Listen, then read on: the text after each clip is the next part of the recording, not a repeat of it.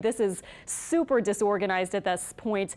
Um, officially still, though, a tropical storm and looks like it will bring some rain to the Carolinas as it is rapidly weakening even now. Uh, kind of was weak even it, when it was uh, named overnight, and it looks like it will be heading out and probably not tropical storm Colin any longer, maybe even by tonight or early tomorrow. Certainly by Monday, it looks like it'll just be a low pressure area. Now, other than that, uh, in the five day outlook for our tropics, we have Bonnie, which has crossed over Central America and is now heading out over the eastern Pacific. So not even an Atlantic basin storm anymore.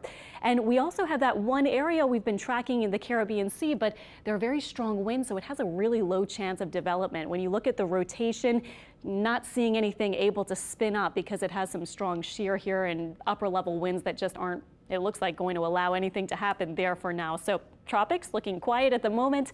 Our seven day forecast actually features some high pressure that will be moving in. Now, normally when we have the high pressure, it takes out our rain